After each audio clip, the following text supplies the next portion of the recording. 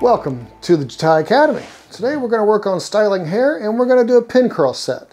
Now pin curl sets are kind of difficult on hair that's been highly textured like my lovely model here. So I'm going to show you how to control all those little loose flyaways with Fuji paper. So let's get started.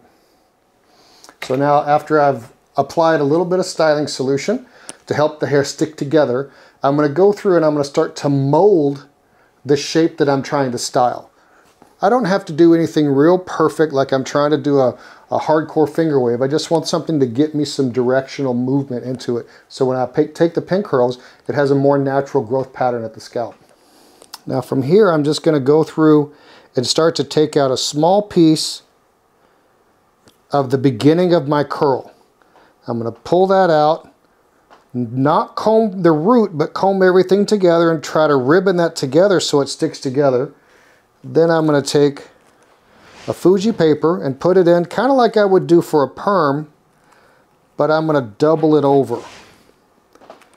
And then from here, I'll start to form that in and get those ends in there and then take my pin, put this in right on top of the paper. Make sure that everything is in there nice and smooth. And this will keep the ends from popping out so I don't end up with a consistent curl at the root and then the ends kind of popping out. So then I'll take a next little triangular section, get that hair combed out of the way. Now we can already see that little piece right there in the front being belligerent. So we'll show you how to ribbon that in, get that going.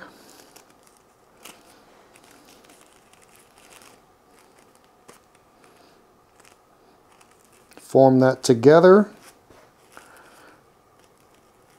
Start sculpting my shape in. Pin right there on top of the paper. Now we're just going to go through, take a little triangular piece. Just try to pull some of that that's been already sculpted. Pull that up. Ribbon that into a point take my Fuji paper, put that in, fold it back on itself so it takes up a smaller footprint, pull that to the tip, and then start rolling my pin curl in. Now I want to make sure I leave the base of it natural. I'm not trying to pull that base shape completely out of it. Get that in there, there we go. Make sure everything's molded in there properly. I like to take a little triangular section. I think it blends and flows better than if I just take little squares. Pull that up. My Fuji paper in. Come here. There we go. Fold that on itself. Start to roll my ends. It keeps the ends together so it's actually, uh-oh, where'd my clippy go? Okay, come here. I think the paper helps keep all the ends together so they don't fray out so much and it gives me a little bit firmer set on the very tips. I'm just going to continue to work that over and into the side. Kind of pin some of that out of the way. Comb this up and out, take my paper, fold it in, wrap that around. You can see which way that the ends are starting to want to go. So I'm just going to follow that natural movement on around like that. Now I've got these little delicate pin curl clips that I think do a pretty good job of keeping the base from getting too pinched. Now after I've gone through and got my first row, I can either choose to start working around this way or work back and forth all the way around. It's really whichever flows better for you. This will also really help with those little small hairs that don't like to form with the rest of them that get kind of pokey, especially when the hair gets a little shorter. It'll help keep all of that in together. Roll that in, take my little pin curl, put that in. Boom, there we go. Now what I'm looking at is I'm making sure that the roots are all kind of flowing together as I'm putting my pin curls in. And as I work back, the paper really, really does a lot to keep all of that hair clamped in together so it can dry in one formed piece. Small little piece here in the front. Pull that up, ribbon together. Take my paper, put that in, be as delicate as I can be. Okay, let me double that up. Roll that in and through my little clip. Right through, I want to keep that on the base. There we go. Oh, snap. Let's do it again. do it again.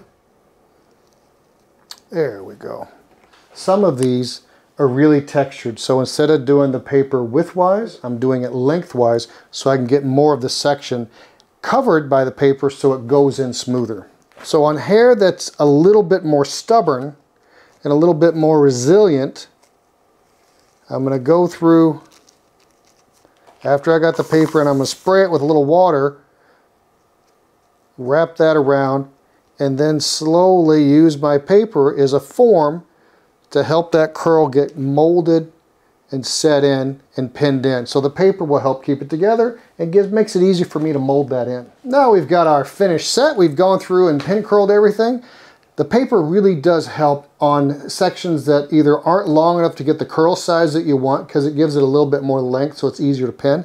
And also on hair that wants to fray out or doesn't want to ribbon together. As notorious these mannequin heads are, they're very, very stiff. So it helped me mold it around that shape. And so it should be able to set in with a much stronger pattern and a much stronger curl. So let's go ahead and blow it dry. And also, if you haven't already, follow us on social at Jatai Feather.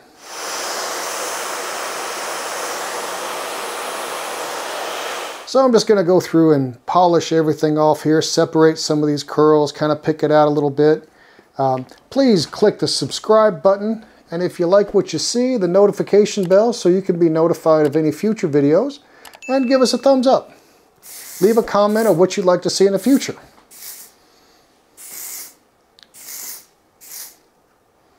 Come here, baby. Get, get up. Okay, here's our finished result. I think it looks pretty nice. We got a, a good strong amount of curl into it and the Fuji paper has really helped with that belligerent mannequin hair, help mold it and get a good little set at the base. So please check out the Jatai Academy. There's a lot of really great information on there from hair cutting, for barbering, for long hair, for razor cutting, for scissor cutting. There's also an area where you can post your own work. So we'd love to see that. Please let us know what you'd like to see in the future and we will see you next time. Thank you so much.